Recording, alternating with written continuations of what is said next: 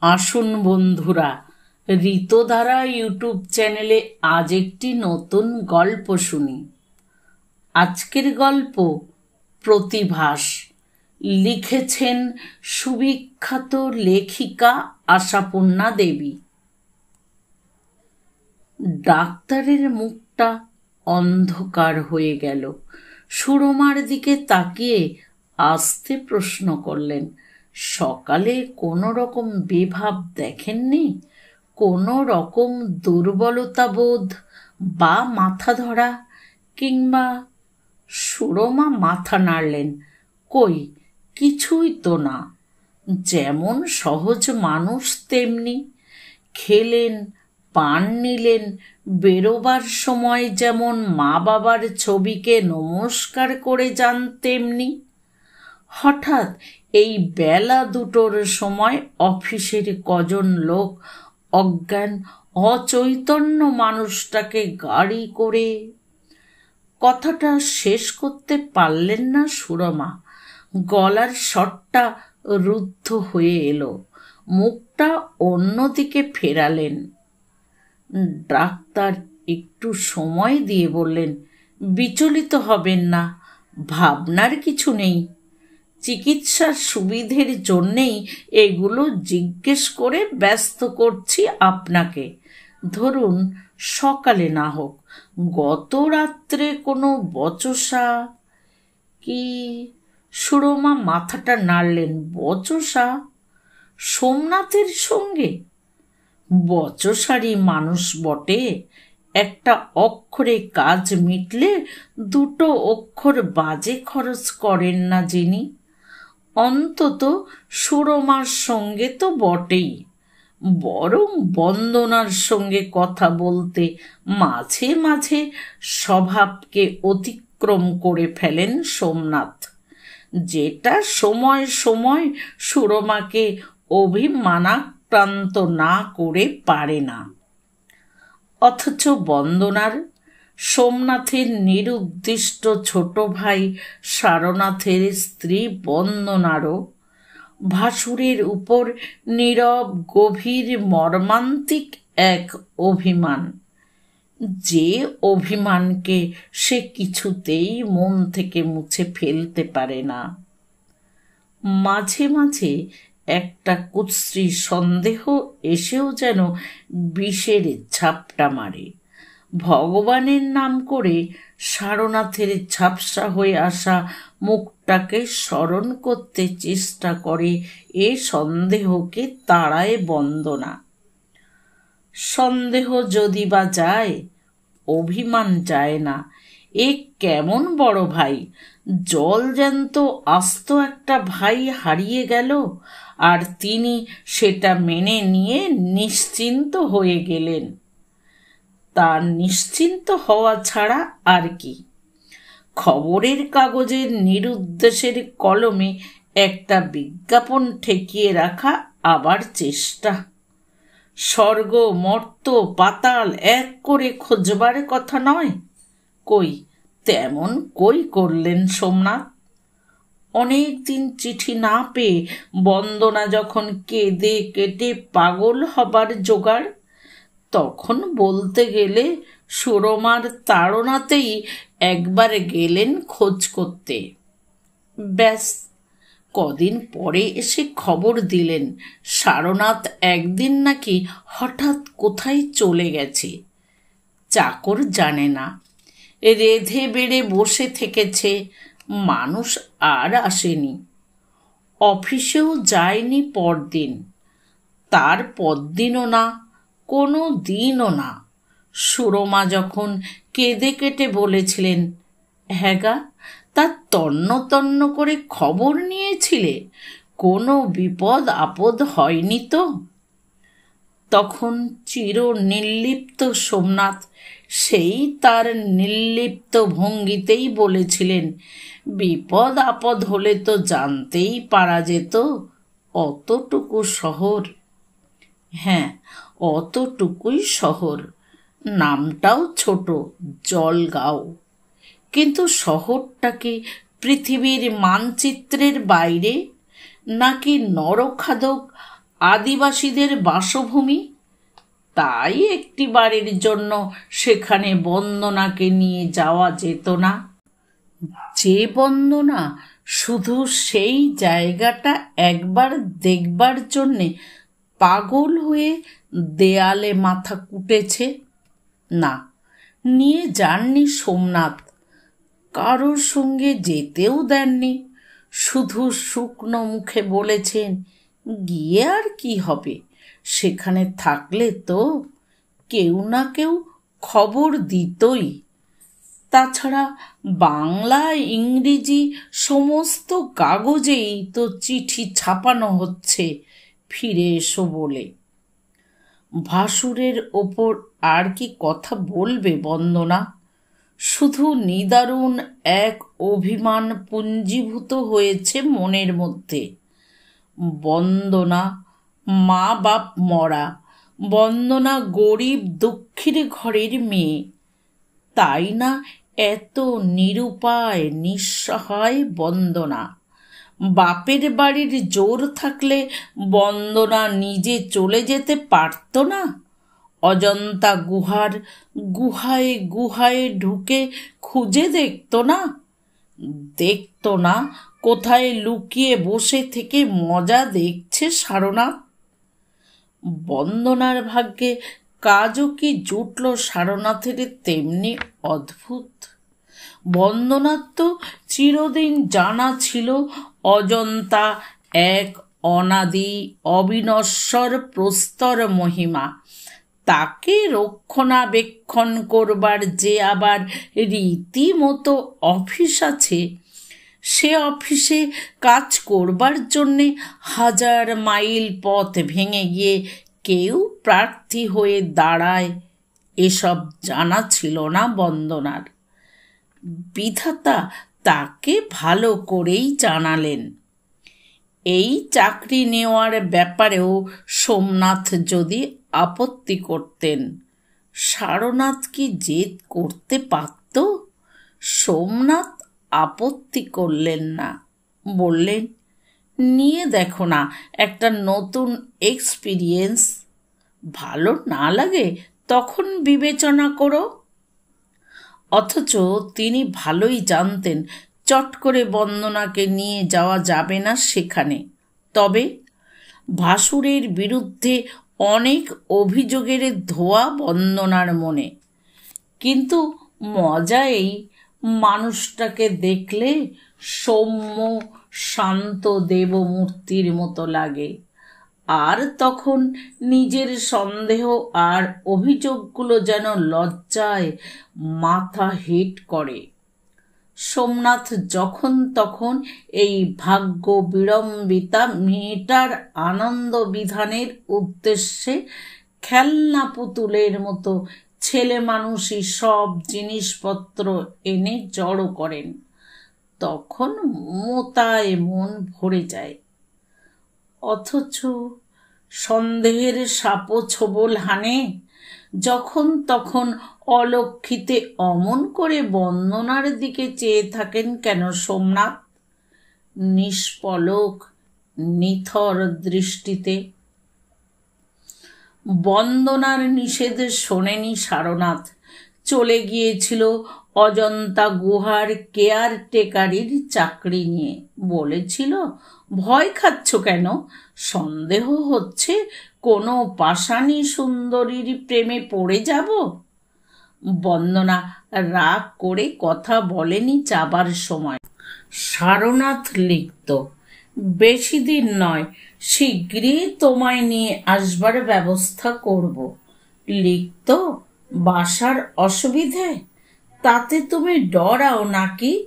বাঘের ডেরায় বাঘিনী থাকে, সাপের গর্তে সাপিনী। একটা মানুষ যেখানে থাকতে পারছে, মানুষও পেরে যাবে। এই চিঠিটাই শেষ চিঠি। তারপরই হঠাৎ চিঠি বন্ধ হয়ে গেল।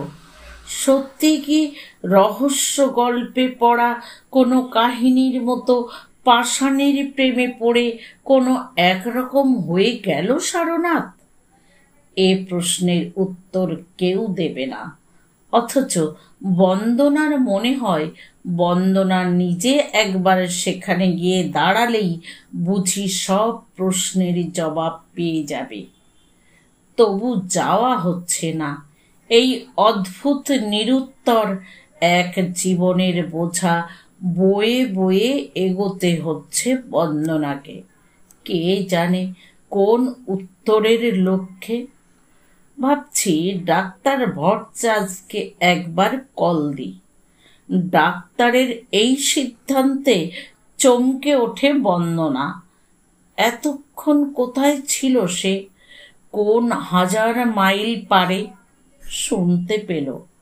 সুরমা ম্লানভাবে বলছেন, আপনি যা ভালো বুঝবেন। ওষুধপত্র দিয়ে তখনকার মতো বিদায় নিলেন ডাক্তার। আর সুরমা যেন এতক্ষণে মুক্তি পেয়ে নিজেকে ছেড়ে দিলেন। শুয়ে পড়লেন বিছানার এক পাশে উপুর হয়ে। বন্দনা সান্ত্বনা দিতে গেল না। বন্দনা আইস ব্যাগ হাতে যেমন বসেছিল রোগীর শিয়রে তেমনি বসে রইল। আর নিষ্পলকে চেয়ে রইল রোগীর ভাবলেশ শূন্য অচৈতন্য মুখের দিকে। সোমনাথের যদি কোনো মেয়ে থাকত, সে মেয়ে বন্দনার বয়সী হতো নাকি? তথাপি বন্দনা আজ সকালে ওই মানুষটার মুখের ওপর বলেছে, সব সময় কি এত দেখেন আমার মুখের দিকে? হ্যাঁ বলেছে আজকে। কদিন ধরে সংকল্প করে করে আজ বলেছে। ডাক্তারকে সে কথা বলেনি বন্দনা। বলবার নয় বলেই বলেনি। আচমকা বন্দনার এই তীব্র প্রশ্নে সোমনাথের মুখটা বাসি শাকের মতো সাদাটে হয়ে গিয়েছিল। কেমন একরকম অপ্রতিভ মুখে বলেছিলেন, তাকিয়ে থাকে? থাকেন কিনা নিজেকেই জিজ্ঞেস করুন, ঘন ঘন নিঃশ্বাস নিতে নিতে বলেছিল বন্দনা। আর সোমনাথ দরজার কপাট ধরে যেন টাল সামলাচ্ছিলেন। বাইরে বেরোবার দরজা। দোতলা থেকে নেমে এসে বেরোবার জন্যে পা বাড়িয়েছিলেন সোমনাথ তখন। আর বন্দনা শেষ কথাটা ছুঁড়ে মেরেছিল। আমার খুব খারাপ লাগে, সেটাই বলে দিলাম। সোমনাথ আস্তে মাথা নিচু করে বেরিয়ে গিয়েছিলেন। আর পর মুহূর্তেই বন্দনার মনে হয়েছিল ওবেলা আবার কি করে মুখ দেখাবে সোমনাথকে? যে সোমনাথের একটা মেয়ে থাকলে বন্দনার মতো বয়সের হতো? সোমনাথ বন্দনার মস্ত উপকার করেছেন। টাটকা টাটকি আর মুখ দেখাতে হলো না বন্দনাকে। কিন্তু কোনো দিনই কি হবে? স্ট্রোক। ডাক্তার ভট্টাচার্য তাই বললেন। তলে তলে কবে এত রক্তের চাপ মাথায় উঠেছিল সোমনাথের? সুরমা বাড়ির ডাক্তারের কাছে ভেঙে পড়ে অস্ফুট স্বরে বলছিলেন, ঠাকুর পই ওকে শেষ করে ফেলেছে ডাক্তারবাবু। চাপা মানুষ, মুখে তো হাহুতোষ করেন না, কোনো খবরই নেই। প্রশ্ন করেছিলেন ডাক্তার। সুরমা মাথা নেড়েছিলেন। সাধু সন্ন্যাসী হওয়ার দিকে কোনো ঝোঁকটোকো তো ছিল বলে মনে হতো না। না, বলেছিলেন সুরমা জোর দিয়ে। তারপর আসতে বলেছিলেন, কি জানি ওই সব পুরনো গুহা টুহায় কত রকম আত্মা টাত্মা ডাক্তারবাবু যেন হেসেছিলেন একটু। তারপর সোমনাথের ব্যবস্থাতেই তৎপর হয়েছিলেন। যেন যে হারিয়ে গেছে, সে তো গেছেই। যে আছে, তাকে আবার হারিয়ে বসো না। ধরে রাখবার চেষ্টা করো। কিন্তু মাথায় এই রক্তের চাপকে সোমনাথের সারনাথকে খুঁজে না পেয়ে নাকি না খোঁজার অপরাধ বোধে? সেই অপরাধ বোধের গ্লানি মুছতেই কি ওই খোঁজা খোঁজা খেলা সোমনাথের? যে খেলার সঙ্গী হিসেবে বেছে নিয়েছেন বন্দনাকে, আর অবিরত সেই খেলা ঘরে ডাক দেন তাকে। বন্দনা, তোমার কি মনে হয় বিজ্ঞাপনের ভাষাটা একটু বদলে দেওয়া দরকার? বন্দনা এবার ভাবছি চিঠির ফর্মে একটা বিজ্ঞাপন লিখে দিই। আচ্ছা বন্দনা সুরমার নাম নিয়ে একটা আবেদন লিখলে কেমন হয়? হিন্দি কাগজেও দিয়ে দেখব বন্দনা ইংরেজি বাংলা কাগজ হয়তো ওদিকে যায় না। বন্দনার এক একদিন ইচ্ছে হয় চেঁচিয়ে ওঠে, প্রতিবাদ করে ওঠে, বলে, কিছুতে কিছু হবে না। আপনাদের এই খোঁজা খোঁজা খেলায় আমার কোনো আস্থা নেই। একবার আমায় ছেড়ে দিন। আমি সেখানের প্রত্যেকটি লোককে ধরে ধরে জিজ্ঞেস করে দেখি গে। দেখি তাকে কোনো অশরীরী আত্মায় ভর করেছে, না কোনো শরীরী মায়াবিনী। ক্রমশ এই শেষের সন্দেহটাই প্রবল হচ্ছে বন্দনার। তার কেমন যেন মনে হচ্ছে সোমনাথ বুঝি কিছু জানেন। হয়তো দেখেও এসেছেন সেই প্রেতিনী আশ্রিত ভাইকে। নিজস্ব নিরীহতায় কিছুই করে উঠতে পারেননি, ধরে আনতে পারেননি চুলের মুঠি ধরে। অথচ ভাইয়ের এই কলঙ্ক কাহিনী বন্দনার সামনে উদ্ঘাটিত হয়ে পড়বার ভয়ে এমন করে সেদিকের দরজা বন্ধ করে রেখেছেন। কই, জলগাঁও থেকে তো কোনো দিন কোনো চিঠি আসতে দেখে না বন্দনা। সারনাথের সহকর্মীদের সঙ্গে চিঠির যোগাযোগ রাখতে পারতেন না সোমনাথ? রাখেননি। জলের লেখার মতো মন থেকে মুছে ফেলেছেন দেশটার নাম। তবে কেন কুটিল একটা সন্দেহ মাথা চাড়া দিয়ে উঠবে না বন্দনার? কেন মনে হবে না সারনাথের নিরুদ্দেশ হয়ে যাওয়াটা হয়তো সোমনাথের কাছে বাঞ্ছনীয় হয়েছে? ভাবলে মনটা কীরকম যেন করে ওঠে। ওই দেবপম মুখের অন্তরালে। ছোট বউ, সুরমা ক্লান্ত করুণ স্বরে ডাকলেন, আমার তো হাত পা আসছে না, একবার দেখো তো গরম জলের ব্যাগটা কোথায় আছে? ডাক্তার ভরচাজ নাকি বলে গেছেন, পায়ে গরম, মাথায় বরফ চালিয়ে যেতে। বন্দনার ঠোঁটটা একটা সূক্ষ্ম ব্যঙ্গের রেখায় বেঁকে গেল। তা সত্যি তোমার হাত পা না ওঠাই স্বাভাবিক কারণ তোমার স্বামী জীবন মৃত্যুর সীমারেখায় দুলছেন। স্বামীকে হারানোর ভয়ে হাত পা শিথিল হয়ে আসছে তোমার। আর বন্দনা সহজ সুস্থ আস্ত স্বামীটা যার হারিয়ে গেল খোলা কৌটোয় রাখা কর্পূরের মতো নিশ্চিহ্ন হয়ে গেল। সুরমা আবার ডাকলেন, ঠাকুরকে গরম জল চড়াতে বলে ব্যাগটা খোঁজ, ছোট বউ। কতকাল তো দেখি না সেটাকে, দরকারও পড়েনি শ্রান্ত নিঃশ্বাস ফেললেন সুরমা। বন্দনা আস্তে উঠে গেল। খুঁজতে লাগল জিনিসটাকে। কিন্তু যা হয়, বিশেষ করে এমন একটা আদমরা সংসারে যা হয়, কোনো কিছুর ঠিক থাকে না। কোথাও খুঁজে পাওয়া যায় না ব্যাগটাকে। কতকাল সংসারের আলটু বাল্টু জিনিসে হাত পড়েনি।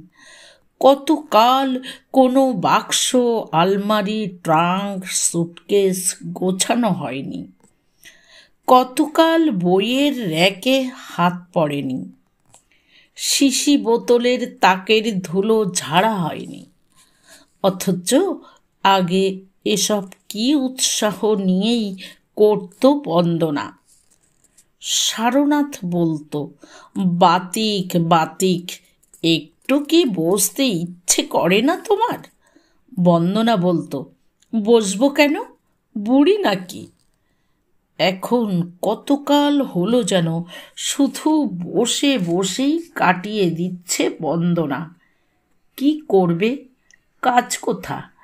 ঝি আছে, রান্নার একটা লোক আছে। বাকিটা সুরমা দেখাশোনা করেন। কী বা রান্না? কত বা খাওয়া দাওয়া? কাজ পায় না বন্দনা। অথচ এসব কাজ তো ছিল। এসব কাজ মাঝে মাঝে করলে আজ বন্দনাকে ওই তুচ্ছ জিনিসটা খুঁজে বাড়ি মাথায় করতে হতো না। সম্ভাব্য জায়গাগুলো শেষ করে অসম্ভাব্য জায়গাগুলো খুঁজছে সে এখন। আলমারির মাথায়, খাটের তলায়, দেরাজের পিছনে, লেপের চালিতে।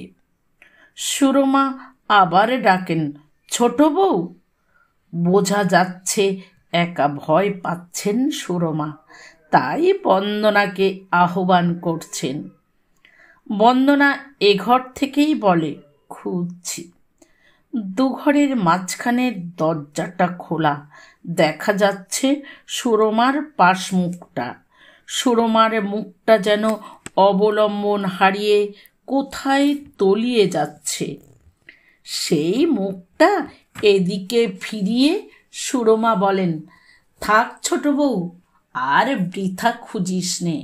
ডাক্তারখানায় স্লিপ লিখে ঠাকুরকে বরং একটা আনতে দে। বন্দনা তাই করতে যায়, আর কলমটা হাতে করে হঠাৎ বন্দনা থমকে দাঁড়ায়। এই একটা জড় পদার্থ, যেটা বাড়িতে যখন ছিল তখন নিশ্চয়ই বাড়িতে থাকবে। তাকে খুঁজে পাওয়ার আশাটা এত সহজেই তাহলে ত্যাগ করছে বন্দনা? অথচ এত বড় পৃথিবীতে যে কোনো জায়গাতে পালিয়ে যেতে পারে, লুকিয়ে থাকতে পারে, ধরা না দিয়ে মজা দেখতে পারে। এমন একটা সচল আর খেয়ালি বস্তুকে খুঁজে বার করতে পারছে না বলে সোমনাথকে দুষছে বন্দনা। মনে মনে অভিযোগের পাহাড় জমিয়ে তুলছে। কলমটা রাখল বন্দনা, বলল, না দিদি, খুঁজে বার করবই, যাবে কোথায়? মানুষ তো নয় যে পায়ে হেঁটে চলে যাবে? ওপাশের ঘরের একটা ভাঙা চৌকির তলা থেকে চিরকালের আনাড়া একটা তরঙ্গ টেনে বার করে বন্দনা, যাতে রাজ্যের বাজে পুরনো জিনিস থাকে। থাকতেও পারে এর মধ্যে, কোনো সময় হয়তো বাজে ভেবেই, কিন্তু এতদিনের পড়ে থাকা বাক্সটার ডালায় তেমন ধুলো নেই কেন? কেন নেই? সেটা ধরা পড়ল। ডালা খুলতেই ধরা পড়ল। ডাই করে খবরের কাগজের কাটিং জমিয়ে রাখা হয়েছে। নিরুদ্দেশের কলাম। এ যাবৎ যত ছাদের বিজ্ঞাপন দিয়েছেন সোমনাথ, সব কেটে কেটে জমিয়ে রেখেছেন? কখন কেটেছেন? কখন রেখেছেন? আশ্চর্য ছেলে মানুষই তো। নাকি হঠাৎ মুখটা একটু কঠিন হয়ে ওঠে বন্দনার। চেষ্টার হিসেব রাখছেন সোমনাথ। হিসেব আর ওজন? দুহাতে সব এলোমেলো করে দেয় বন্দনা। না, ব্যাগটা এখানেও নেই। দেখা যাচ্ছে একটা জড় পদার্থ নিশ্চিন্ন হয়ে হারিয়ে যেতে পারে। বিরক্তির সঙ্গে সোমনাথের ওই চেষ্টার দলিলগুলো দু হাতে খামচে খামচে তুলতে থাকে বন্দনা। আর তুলতে তুলতে হঠাৎ কাণ্ডটা ঘটে। বন্দনার চোখ দুটো কাচের চোখ হয়ে যায়। বন্দনার হাত দুটো পাথরের। আর বন্দনার মস্তিষ্কটা সুইচ অফ করে দেওয়া বিদ্যুৎ যন্ত্র। বন্দনার নিঃশ্বাস প্রশ্বাসে কি পড়ছিল? চিরদিনের জন্যে সব থেমে যায়নি। না, চিরদিনের জন্যে নয়, হয়তো মাত্র এক মিনিটের জন্যে। মাত্র এক মিনিট পরেই সব কিছু ফিরে এলো বন্দনার। চোখের দৃষ্টি, হাতের সার মগজের অনুভূতি। আর তখনই বন্দনা ওই পুরনো টেলিগ্রামটা চোখের সামনে তুলে ধরল। রাশি রাশি ঝুরো কাগজের নিচে থেকে যেটা হঠাৎ বেরিয়ে পড়েছে। এখন বেশ স্পষ্টই পড়তে পাচ্ছে বন্দনা। পরে মানে বুঝতেও পাচ্ছে তারিখটা পর্যন্ত ধরতে পাচ্ছে সারনাথের শেষ চিঠিটার তারিখের থেকে দুদিন পরে। পড়তেই লাগল বন্দনা। পড়তে পড়তে মুখস্থ হয়ে গেল। মস্তিষ্কের কোষে কোষে যেন ধনী হয়ে বাঁচতে থাকল। Sarnath expired suddenly twentieth Sarnath Sarnath expired suddenly Sarnath আর কিছু যেন লেখা ছিল পরে সে আর চোখে ধরছে না। অক্ষরগুলো অর্থহীন হয়ে ভেসে যাচ্ছে। কিন্তু সেগুলোর অর্থ ধরা পড়লেই বা নতুন কি অর্থ আবিষ্কৃত হতো? যেটুকু ধরা পড়েছে, তা থেকেই তো বন্দনার সমস্ত প্রশ্নের উত্তর মিলেছে। যে উত্তরের লক্ষ্যে এগিয়ে চলেছিল সে এতদিন। সোমনাথের খোঁজা খোঁজা খেলার উত্তর পেয়েছে বন্দনা। বন্দনার বয়সী মেয়ে যার থাকতে পারত, সেই সোমনাথের অপলক চোখে চেয়ে থাকার উত্তর পেয়েছে। সোমনাথের হঠাৎ কাজ করতে করতে অজ্ঞান হয়ে যাওয়ার উত্তর পেয়েছে। কিন্তু সব উত্তর পেয়ে বন্দনাই শুধু প্রশ্ন হয়ে থাকবে। উত্তর দিতে পারবে না এই অসীম স্নেহের, এই অপরিসীম মমতার, এই অলৌকিক করুণার। সোমনাথ শুধু জানবেন, সোমনাথের একটা ব্যবহার বন্দনার খুব খারাপ লাগে? না সোমনাথকে কিছুতেই হারিয়ে যেতে দেবে না বন্দনা। এক অসহায় নিরুত্তরতার মধ্যে থেকে। দৃঢ় পায়ে উঠে দাঁড়াল বন্দনা। কলমটা তুলে নিল দৃঢ় আঙুলে। রান্নাঘরে গিয়ে ঠাকুরকে বলল, ঠাকুর ছুটে ডাক্তারখানায় গিয়ে এইটা নিয়ে এলেই একেবারে গরম জল ভরে ও ঘরে।